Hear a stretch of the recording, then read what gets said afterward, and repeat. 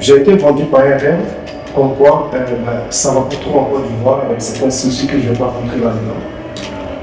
Viens en Tunisie, tu auras une vie. Et de là, tu pourras y aller en Europe. Et la personne au bout du fil qui me disait que si moi je suis femme, je suis passé par là, tu peux passer. Viens, ouais.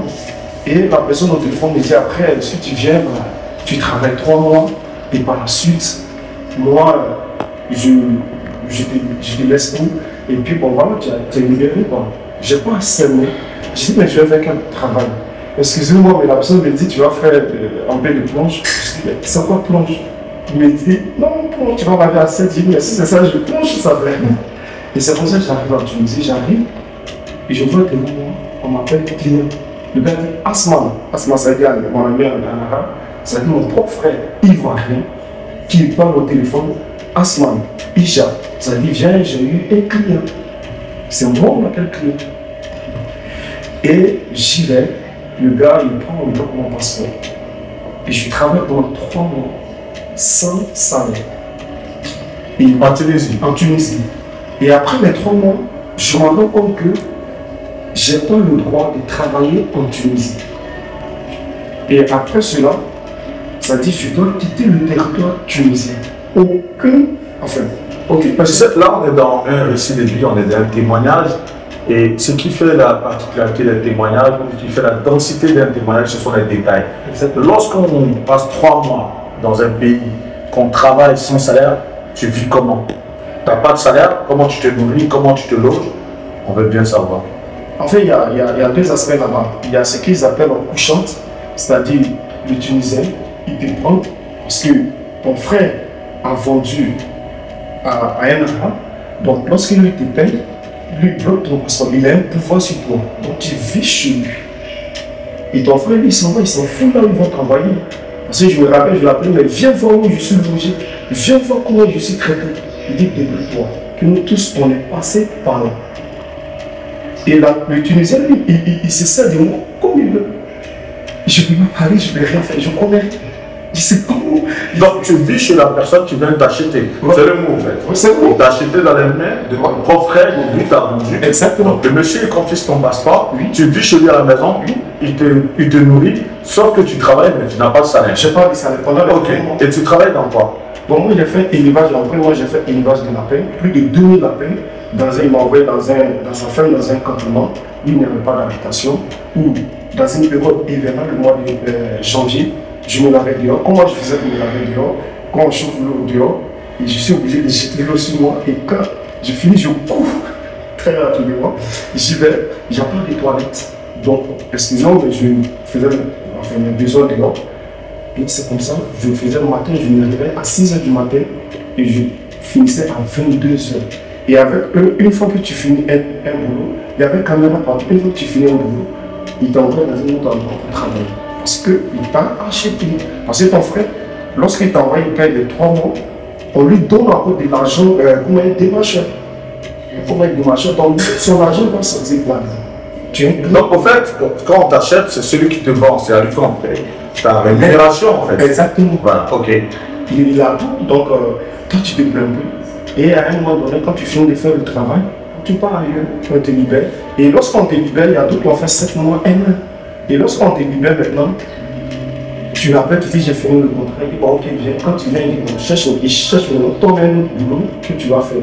Et cependant, ce qu'on va savoir, après ces 3 mois, tu n'as plus le droit de rester sur le sol tunisien. Ça, c'est la loi tunisienne qui le dit. Et il y a ce qu'on appelle la pénalité. Quand j'étais là-bas, quand j'estimais en fait une évaluation, ça faisait 21 000 francs CFA. Et donc, on ne te dit pas où tu vas aller payer pénalité. Puisque si tu payes ta pénalité, es légal. Donc, si tu as fait un an, deux ans, trois ans sur le territoire, le jour que tu veux sortir de manière légale sur le territoire tunisien, tu parles la là-bas, tu vas payer tout ça. Ça dit 12 mois multiplié par 1 an, 2 ans, 3 ans que tu as fait, et tu payes toute cette somme-là.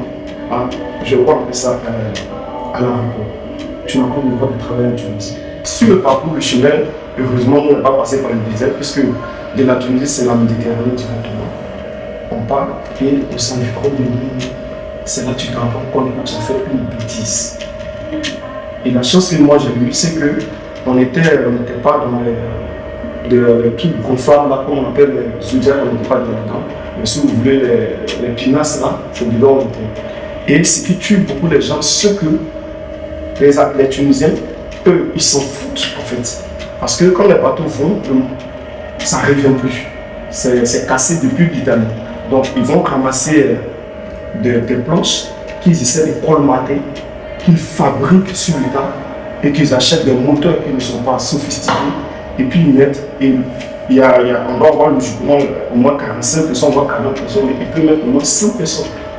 Et moi, heureusement, mon, mon, patron m'avait dit une fois que vous êtes 45, plus de 45 non plus, c'est dangereux. Reviens, peu importe l'argent que tu vas donner. Et j'avais ça en tête. Et heureusement, on était 43, 44. Et on partait et puis, vers les 2 heures du matin, l'eau a commencé à rentrer vers de côté.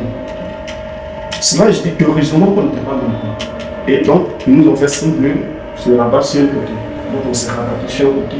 Et il y avait le bas, le moteur a commencé à prendre feu. Donc, ceux qui étaient au courant, on n'était pas nombreux. Puisque si on disait à tout le monde, ça a panne. Donc, qu'est-ce qu'on fait On s'est calme. Et moi, j'ai un ami là qui me faisait signe, donc on s'est tué. Et je me suis que c'était hyper difficile. Si tu te dis que tu peux mourir les secondes qui suivent, la main est vaste, tu vois absolument rien. Tu ne sais pas dans quoi tu te.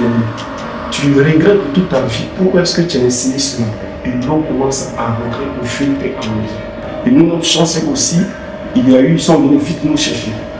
Le grand bateau qui est venu nous aperçu déjà. Une fois que vous rentrez dans l'international, ils savent que vous êtes. Donc de manière automatique, nous avons aperçu, ils sont venus avec les hélicoptères, ils ont vérifié. Donc ça n'a pas fait soit une journée et demie, ils sont venus nous chercher. Donc ils sont venus nous chercher, ils nous ont pris, et puis on est parti à Lampedusa.